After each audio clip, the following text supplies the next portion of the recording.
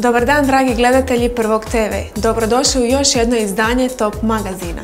Rado u svoj Top magazin pozivam mlade i ambiciozne ljude. Stoga je danas moja gošća Nives Ćorić, djevojka koja stoji iza modnog brenda Nika. Dobar dan Nives i dobrodošla na Prvi TV. Dobar dan, bolje vas našla. Što je moda za tebe, ali općenito dizajn kojim se ti baviš?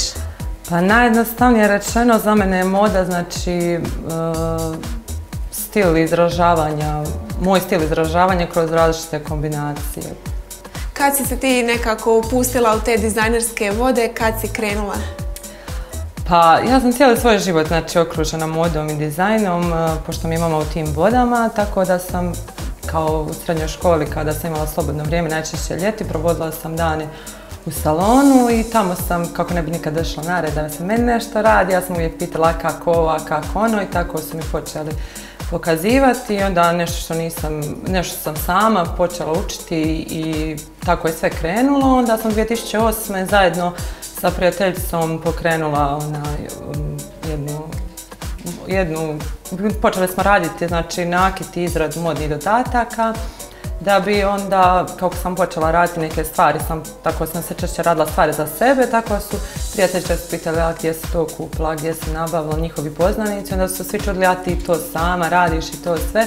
I tako je na nagovor mojih prijatelja i obitelji prošle godine, početkom prvog mjeseca, stvaram brand Nika, za kojeg sam pozvana, znači prvo je bilo gostovanje na sajmu gospodarstva i onda sam bila pozvana na Nivea VH Fashion Week e, tako je sve nekako krenulo uzlasnom putanjom. I evo, već godinu dana si uspješna mlada dizajnerica. Da, već godinu dana sam uspješna mlada dizajnerica, evo, da sad ide dobro, pa ćemo vidjeti. E, kako se usavršavaš? Je li postoje neki tečajevi ili neki određeni planovi po kojima ti radiš ili jednostavno sam svoj master? Znači, ja nemam znači, nikakvu stručnu spremu za dizajnera, niti za krojača, ni ništa. Znači, sve sam ja sama i ove što krojačice što su mi pomagale, što su me naučile to.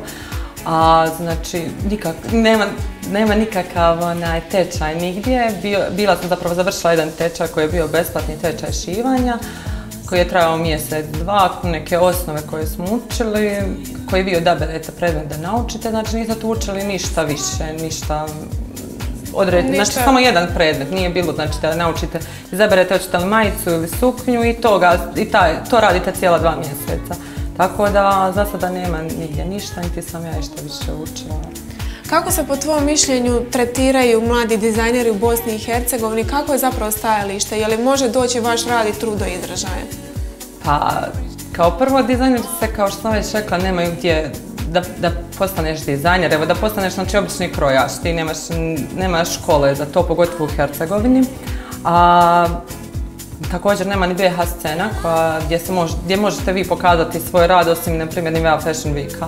Tako da jedino što vam ostaje je da kažem face koji što je svima nama jedini promotor. da. Da, tako da nema ništa više i to je... Tako da su oni slabo cijenjeni, zapravo nisu nikako, ja po mom mišljenju nisu nikako cijenjeni, tako da nemamo baš nešto mladi dizajnera. I to Evo vas, par se borite, ali uspijevate. Par se nas bori, eto uspijevamo se, to je nekako moja želja da se malo na tome više poradi, da, da dođemo malo do izražaja. Ne samo ja, nego i ostali koji bi željeli se time baviti. Nives, kojeg ti dizajnera, odnosno dizajnericu najviše cijeniš? ja vam općenito, znači nemam u privatnom svom životu nikakve uzore, a volim pratiti svačiji rad. Svačiji rad cijenim, bez obzira bila to izrada, ne znam, nakita, torbica do odjeće. Najviše, znači, obožavam, znači ja mislim da svaka djevojka Elija Saba, ono, da mu je to san snova, da kad gleda te revije, tako da ako moram baš izabrati njega bi izabrala. A evo, znamo da je svaka osoba individua, da smo svi jedinstveni. Što tebe kao dizajnericu, mladu dizajnericu izdvaja od drugih? Pa, za to pitanje, ja mislim da ja nisam baš pogodna odgovoriti, više su drugi pogodni odgovoriti, ali ne znam, možda je razlika u tome što eh, ja se nikada ne baziram znači samo za izradu basic stvari da kažem ili svečane odjeće. Ja sam, u mojoj uvijek kolekciji bude mix svega i ja se nikada ne mogu odlučiti, bi se željela odlučiti da se samo time bavim, tom određenom jednom vrstom, nekako smatram da nekako još sve mogu nekako se ukomponirati u sve to, tako da možda je to jedino što me čini. Da. A koji komad onako najradije šivaš i radiš? Pa, ne znam, zimi sam sada, prošlu zimu sam obožavala, ne znam, kapute koji su različiti oblika i ona, dimenzija, to mi nekako bilo super i suknje. A sada za ljeto nekako više haljenice i te topiće i tako to. Je li bilo nešto najzahtjevnije za raditi, ali ima zahtjevnih klijentica?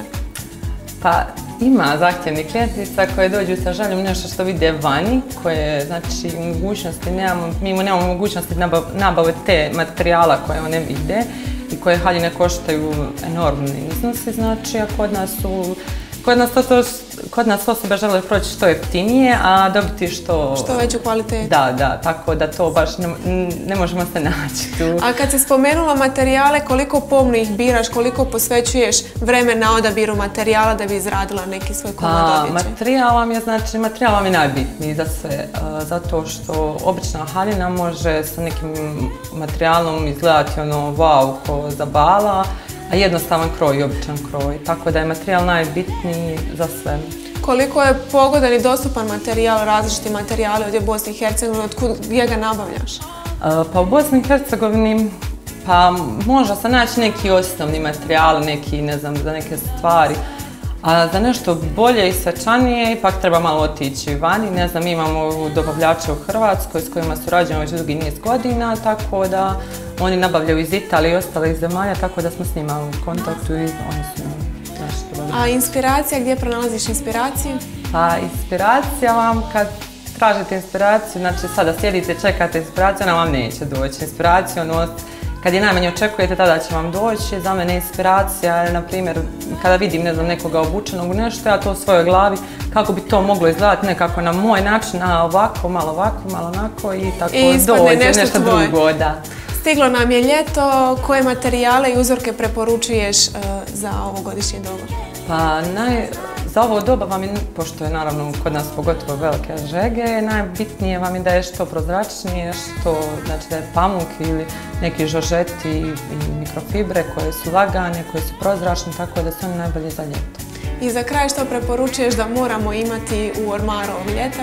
U ormaru ovoga ljeta u mojoj kolekciji bit će predstavljeni ovako topovi kao što je kod mene, na razne varijacije koji će biti znači haljenice i topići koji će se moći nositi u više kombinacija, znači nije samo bazirano ovako, moće se nositi u više Dezena, vjerojatno. Osim u dezena moće se nositi na više varijacija, znači neće biti samo bazirana ovako, tako da će to biti nešto na To će nekako biti najizražajnije. Da, da, da. Hvala ti Nives na ovom razgovoru. Hvala vama. Dragi gledatelji, ukoliko i vi želite biti dio Top magazina, javite nam se na mail redakcija prvi.tv. Vidimo se za sedam dana i lijep vam pozdrav.